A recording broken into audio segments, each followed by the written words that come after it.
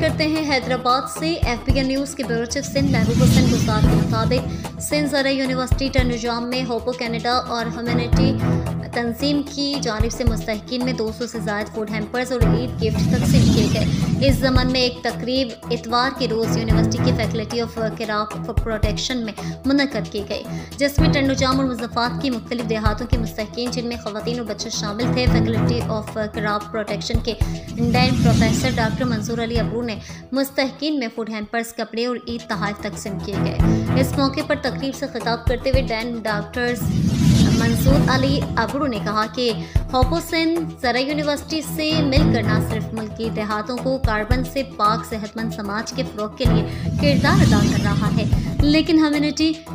तंजीम के ज़रिए फलाही काम में अहम काम सर अंजाम दे रहा है।